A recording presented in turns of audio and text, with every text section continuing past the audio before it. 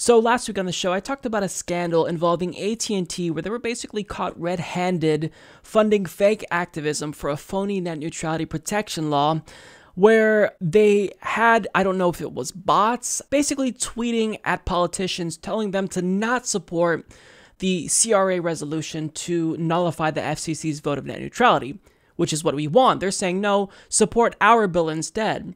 Now, what they're not saying is that their bill doesn't actually protect net neutrality. The Congressional Review Act, which is what we're all pushing for, that would actually save net neutrality because Congress does have the authority to pass a resolution nullifying the FCC's vote.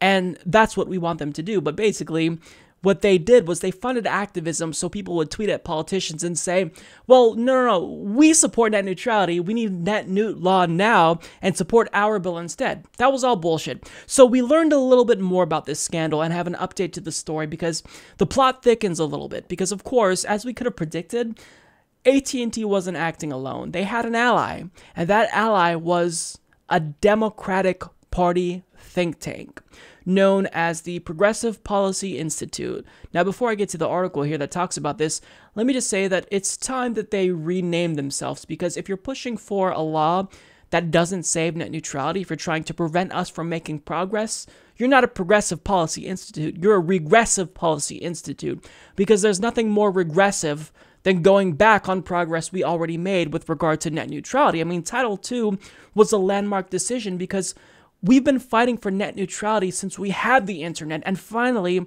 that signified a day where we got what we wanted. It was classified as a common carrier under the Communications Act of 1934. We got that. And now you're saying that you don't want that. So you're not progressive at all. You're regressive. You're trying to take us backwards. But getting to the article, Paul Blumenthal of HuffPost reports a Democratic Party think tank is behind a shadowy social media campaign pressuring Democratic lawmakers to oppose congressional resolutions to bring back net neutrality rules. In the past two weeks, individual Democratic Party lawmakers have received Twitter messages from hundreds of different users urging them to oppose two resolutions that would nullify the Federal Communications Commission's December vote to end net neutrality rules for internet service providers. Democrats, digital companies, and open internet advocates have harshly criticized the FCC's decision.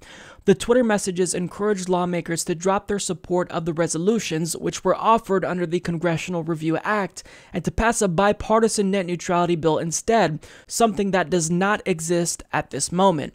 But rather than an organic expression of policy preferences by disparate Twitter users, the wave of messages started as an online advertising campaign by the Progressive Policy Institute, a centrist think tank affiliated with the Democratic Party that has consistently opposed net neutrality regulations imposed by the FCC. Lindsay Mark Lewis, executive director of the Progressive Policy Institute, told HuffPost that the advocacy campaign is meant to target pragmatic members of Congress in a pursuit of a real legislative solution to net neutrality. Lewis called the Doyle and Markey bills nothing but a gesture without a solution. The Progressive Policy Institute has a history of bending over backwards to do whatever large phone and cable companies ask it to do. Tim Karr, a senior director at Free Press, a pro net neutrality nonprofit group, told HuffPost. Now, a quick point of clarification here. The executive director of the Progressive Policy Institute said that the bills from Doyle and Markey were, quote, nothing but a gesture without a solution. The opposite is true. I mean, that couldn't be further from the truth. The bills that he's referring to are the actual bills that would nullify the FCC's repeal of net neutrality. So it's the solution we need. It's a bill that Ed Markey sponsored in the Senate, which now has 50 co sponsors, and it's a bill that Doyle co sponsored in the House, which now has 110 the last time I checked. So that's also gaining momentum. So the reason why they're attacking that is because they know that that would actually be a real way to save net neutrality. And conspicuously enough, the Progressive Policy Institute launched this campaign the same time AT&T took out full-page ads talking about how much they supported net neutrality. And the plot thickens even further. Guess who funds the Progressive Policy Institute? The usual suspects who are against net neutrality. We're talking Comcast, Verizon, and say it with me, AT&T. so AT&T we're learning now is in cahoots with a quote Democratic Party think tank.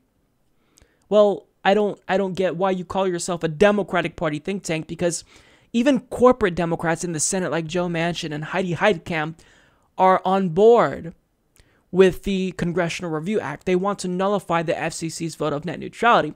Now, let's be honest here. They're sellouts, they're shills, they take money from Comcast and Verizon.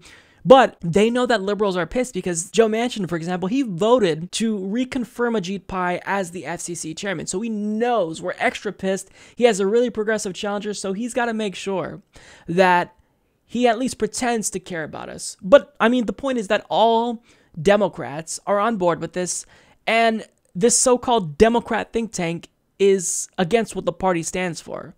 So, when it comes to the so called Progressive Policy Institute, we now know everything we need to about them.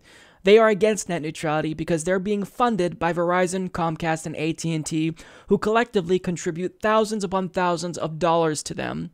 So the way that we fight back against this and give them the middle finger after they're trying to stick it to us is we call our representative and ask them to co-sponsor this bill to nullify the FCC's vote uh, to repeal net neutrality. Ask them to get on board with the resolution, the Congressional Review Act resolution that would nullify the FCC's December 14th vote.